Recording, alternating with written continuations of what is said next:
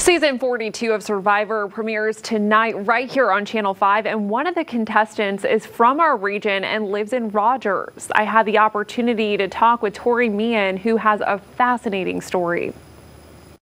My name is Tori Meehan from Tulsa, Oklahoma, and I'm out here living my dream come true, but it's also my family's dream. Every single Christmas, we have this tradition where we binge watch an entire season of Survivor. While Tori Meehan's family still lives in Tulsa, she recently moved to Rogers. So I moved in December because I got married. So my husband and his whole family, they actually date back to like the 1800s living in Northwest Arkansas. So they have like a very long lineage here. I am much newer to the area. I'm sure I'll call this place home for the rest of my life because my husband is not, not going to leave. A year ago today, Tori got engaged, and tonight is the season premiere of Survivor. So it's very full circle. It took Tori seven years of auditioning before she finally got selected to be a castaway, but clearly her persistence paid off. What really drew me to Survivor is like the social strategy part, especially now that I'm a therapist. So I'm all about like psychoanalyzing people, psychology, how the brain works, how people work.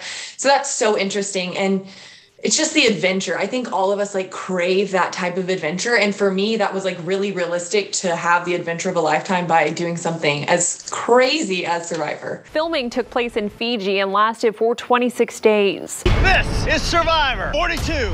Oh my God. Tori works specifically with people with eating disorders, so she's all about giving others the tools to have a positive body image.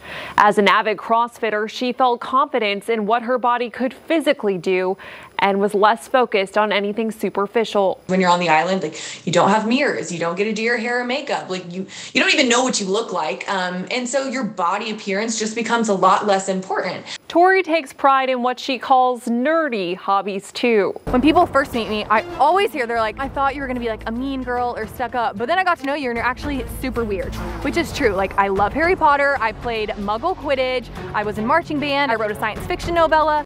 Unfortunately, Tori couldn't give away any spoilers, but I tried. You guys are just gonna have to watch to find out. It's gonna be a wild ride. So you'll have to watch. Stay tuned.